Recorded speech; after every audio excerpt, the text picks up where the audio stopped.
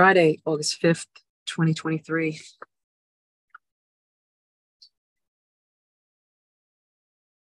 And the world is headed for a massive change in the world financial system.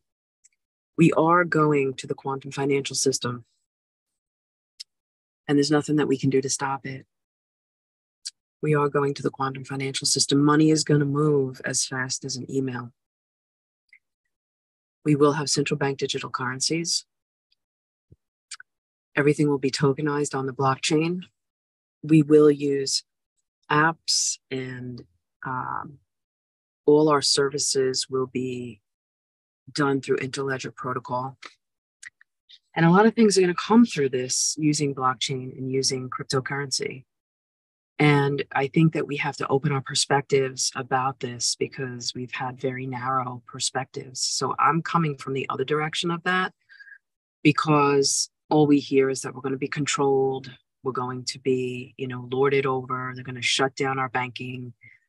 And if you think about it, they could have done all of that. They could shut off our internet, they could shut off our phones. They have control of all these devices. So we know that if we study this elite system, we know that, and if we delve into like the esoteric and the occultism and the Masons and the elites and the Illuminati, they live by certain rules because actually they're under the um, they're under the laws of God. And I know that's hard to believe, but they're under the universal spiritual law, karmic law, um, they know that law, I think, better than most everyday people. And we're entering into a time where there's going to be a rebalancing in the earth. And I've talked about this many times in my videos about the financial system and how suppressed nations, third world nations, are going to be, who have been squashed and brought low will be brought up higher, and how America, who has been up here, will be brought lower. And if we're just speaking in very simple terms, that's really what we are going to see happen. Yes, we're seeing an elimination of the middle class, and some of that is also rebalancing wealth. We're also seeing a wealth transfer from the baby boomers um, and uh, a deterioration of the wealth, I believe, of that generation being washed away because of all the debt that has been accumulated by that generation.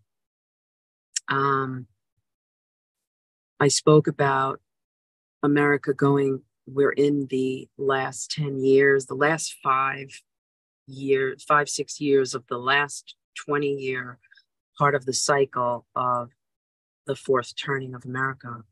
So we're in that last of the last, we're in the end of the end. And in the end of the end, um, that generation, which is now the elderly um, 70s to 80s, are they were the first generation, in the first turning.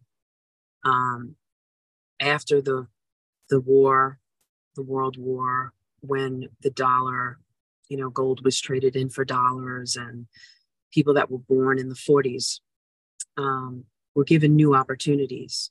Um, I'm not saying that they didn't have any hardships, but the hardships were different for the generations that followed and the generation that's that are alive today.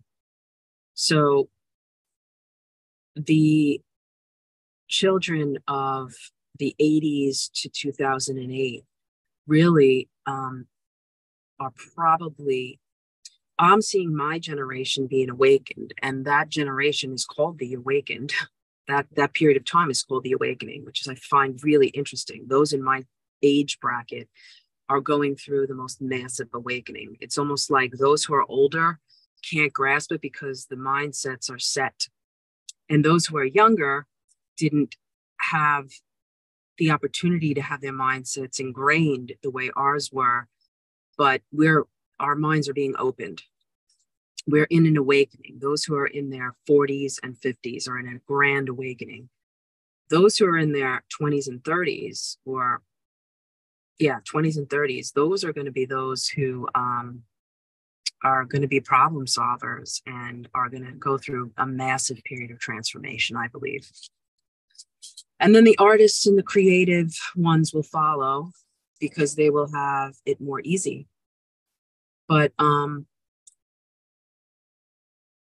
we are going to a quantum financial system, and the whole world will be networked onto this system, onto a unified ledger. Um, money will move like email. It is very archaic, the system that we're on right now. Um, it's funny when we think about it money will move like email and and most of us who say that are like that'd be great if i had some money to move that fast. But there are many people right now capitalizing and delving into researching where the financial system is going so that they can strategically take advantage of the knowledge they're gaining. So to perhaps gain some wisdom and make radical moves to be prepared for the changes that are coming rather than to stand in in quicksand or stand in cement shoes and say i don't like what's happening. This is wrong. All i can see is this perspective and they better not do this to us and i'm not going to do anything with my assets. I'm just going to stay where i am and scream about it and be a victim. And there's a large company of people who are awakening realizing that if we don't allow our consciousness to be raised to a place where we no longer see things as happening to us and we let our soul be renewed and healed and let our minds be renewed and raised into the mind of Christ, into the higher mind, that I am not a victim. God is in control. I see people who are not Christian, who don't even speak about God, and yet they see the universe and the way that its laws are set up that they are not a victim, that there is a higher power in control so that everything that has happened to them is meant for their good and they are meant to change and transform through it. And to me, that is walking with God, whether they use the word God, they use the word source, but they are working, they are moving, and they are living through the higher mind. And as long as we stay in the victim mentality, and I've talked about this before because I'm praying about this myself too, um, and bringing this before God in prayer. But as long as we become the victim all the time and everything happens to us, and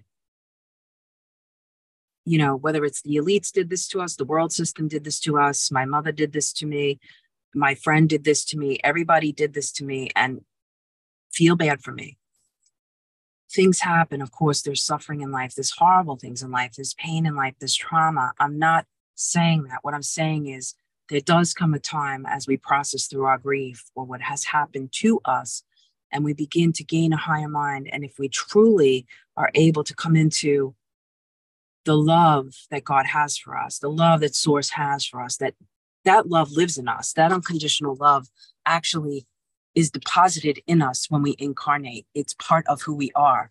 It's in our breath, it's in our life force, it's in our prana, it's living in our body. That we then can pray that our mind, because it's our mind that hinders us, it's the mind that lives in hell and causes the body to there then follow, because the body follows the mind. The tongue follows the mind. I was talking about the tongue the other day, and I do love how the Bible speaks about the tongue as the most wicked member of the body. It does more more um, destruction than anything in the world. The tongue, um, but all that to say that our bodies are meant to be living temples of the Holy Spirit to live in heaven and to bring heaven, because heaven is in us, the kingdom is in us, to earth and to and if somebody's going through a hard time then we come alongside of them and we support them and we walk through it with them and we pray for them and we you know encourage them and we persevere with them and then if we're walking through the hard time somebody's there for us we all have a turn but to come out of that victim mentality of this happened to me and everything just happens to me i'm just a victim all the time we will stay in realms of hell. We will stay in the lower realms. So I'm saying this in regards to the financial system because there will be many who will say, This happened to me, and this happened to us, and this happened to America, and they did this to us, and now look where we are. But we don't have to live that way. Because if we truly, truly believe, okay, have the faith, we can see in the spirit, we can see in the unseen realms that all the quantum happens, right? And God is in control and He allows it then we know somehow heaven is behind, heaven is for us. And we can surrender to those quantum laws and we can find the will of God in that and we can find the path of transformation and the path of evolving into moving into Christ out of the ego in this world. That really is the path. And so I talk about the financial system and how the quantum financial system is coming, and it can come through many different events, but it's happening before our eyes. And I don't believe a lot of people are seeing it. We're blind to it because we don't want to see it. And when we refuse to see, we can trick our, our minds can trick us into believing that it's not happening, but it's happening. And we will go to a quantum financial system and we're already, it's already prepared. It's working. It's just gotta, the world events just have to play out. The script has to play out. And so we need to be vigilant, awake, prayerful, asking God to help us to understand wisdom and insight into having a perspective from God's point of view, from heaven's point of view. If God's allowing this all to happen, okay, God, what is your perspective on this? Let me see it from the other guy's shoes. Let me see it from a different perspective. What do you want to do in me? What do you want to do in America? What do you want to do in my region? What is my part in that? Why am I here on this earth at this time? One of the greatest things that God ever allowed me to do, truly, I mean this with all of my heart, was to meet an astrologer, to make an appointment to have my astrology chart read. And I've shared this before many times, but the more I see what's happening in the world and the church's perspective, finger pointing, judging, how will we ever, ever go and share the love of God.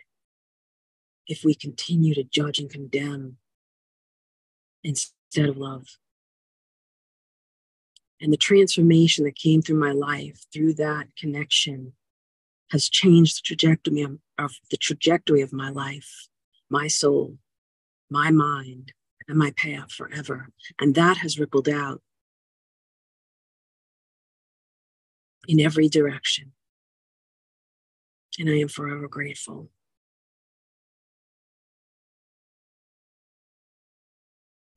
God was already delivering me out of religion before I met this person, but my interaction, my connections with that person caused an acceleration of that deliverance to happen for me.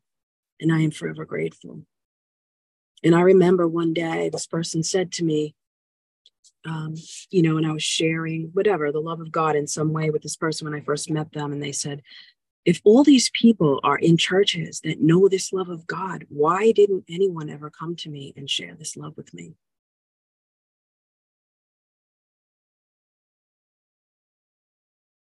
And it broke my heart because I knew in my heart that anybody who was a churchgoer from where I came from was going to point a finger at a person like this, judge them, condemn them before they even knew them, and never sit at a table with a person that was an astrologer. Who will go to the drag queens? Who will go to the broken? What I realized was that through my connection to this person, God wanted to give me the kingdom. God wanted to look to deliver me. God wanted to make me see. God wanted to remove my blindness. God wanted to heal parts of me that were toxic, codependent, unhealed. God wanted to show me a whole new community of people who prayed with such purity, simplicity, depth. They didn't speak Christianese.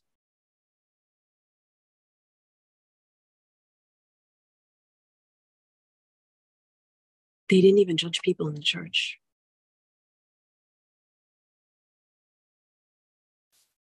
They didn't know. Therefore, they didn't judge. And I saw such stark contrast because I had learned so much judgment in the church about those I didn't know, those I didn't understand. And it broke my heart over and over and over again. And the more that we see the world grow darker, the more we should pray. We need to pray. The more I pray for eyes to see not only the depth of my own soul's reality, my own sin, my own judgment, my own projections, my own iniquity, but that I would see the love God has for me in my sin, that I may see others prophetically through the eyes of love and embrace everyone, wherever they are, the way God embraces me. The blindness of the Pharisee is shocking. And the Pharisee is the ego, but there is a religious Pharisee that God is exposing right now. Not for shame, for deliverance. And I know I got off the financial system, but it's all about this rigid mindset that we have in the church about so many different topics and so many different issues and so many different things. And there's a humbling that's coming. There's such a wave, a tidal wave of humbling that is coming. And all I can say is I feel the Holy Spirit is saying, as that wave comes, get down, get down low. Pray for eyes to see. Get ready because it's going to shock you, it's going to deliver you. And when you get delivered, you will be eternally grateful. You will come deeper into my love and understanding of my love healing in my love, perspective of my love. Judgment will fall away.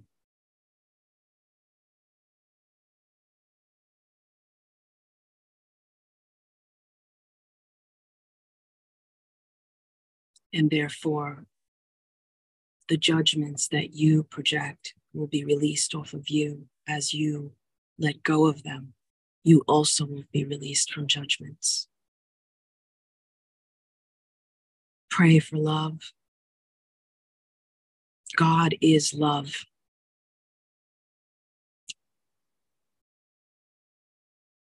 His heart is redemption for all. He wants us to love others as we love ourselves. And so, if we could get to the root of that, that would be glorious. To come out of the ivory towers the glass towers from where we throw stones to get real and authentic. I experienced some of the most authentic retreats of my life with an astrologer and her friends, and some of my friends who were coming out of religion, some of the most powerful, authentic retreats. Because people got real. They were honest. They let go in the presence of God and in the presence of their brothers and sisters. Everybody was human and sat in the love of God and received where they were at. As I sat there, I longed and I wept for the church because I wanted the church to know what this was like so bad. And I had to let that go. But I wished the church could know what it was like, not just to experience that power and that authenticity, but to sit amongst those that I sat amongst, because they're all those people out in the world that the church points a finger at. And yet declares that they're going to save the world. And that is cognitive dissonance. That is lie. And it must be exposed because that frequency, every lie is a low frequency. It's a hellish frequency. When we have a lie in us, it's a frequency of hell. A lie is a frequency of hell. And God has come to deliver us from hell. God has come to deliver us out of lie, for I am the way, the truth, and the life. And even the church must come into the truth, a greater truth. And now is that hour, if we are willing, if we cry out for it, if we seek it, it will come to us. Many will not. They will not choose to accept truth. Not in this lifetime. But many are being pulled through a veil of truth right now, a veil of consciousness into the higher mind, into a higher love, and they can't do anything to stop it.